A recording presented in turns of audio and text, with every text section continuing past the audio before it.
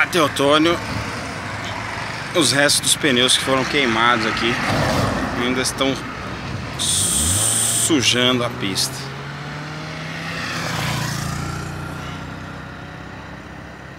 O asfalto novo aqui acabou sendo prejudicado também. E até agora ninguém